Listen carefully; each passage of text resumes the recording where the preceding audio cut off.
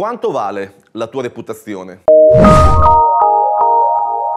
Sul web, come appari? Cosa si dice di te? Ti faccio una domanda, hai mai comprato un prodotto di cattiva fama o di fama mediocre? È fondamentale che la tua reputazione migliori, non il contrario. Hai questa qualità, hai questo controllo. Quindi risparmi su tutto, ma non sulla tua reputazione. Di solito noi compriamo prodotti che hanno per noi il miglior rapporto qualità percepita prezzo. Perché quindi i tuoi potenziali clienti dovrebbero sceglierti se sul web ad esempio nemmeno esisti. Perché il fatto che tu sul web abbia una presenza diciamo più o meno visibile o addirittura non ci sia, in verità di te dice molte cose. Perché come sintetizzato da Václavic nel primo assioma della comunicazione, è impossibile non comunicare. Per cui il fatto che tu non ci sia sul web o ad esempio, come dire, di te si parli molto poco o in modo molto anonimo, in verità dice ad esempio che tu hai poche cose da dire o non hai niente di importante da dire oppure abbia bisogno di nasconderti. E di solito non sono cose rassicuranti per il tuo business. Tutti noi vorremmo risparmiare il più possibile quando facciamo qualsiasi tipo di investimento, ma in verità la soluzione è una efficiente, una efficace strategia di comunicazione integrata digitale. Una cosa da considerare anche per come è strutturata oggi la comunicazione digitale, soprattutto per ciò che riguarda i social. Ciò che fa brand non è più solamente quello che dici tu ai tuoi clienti,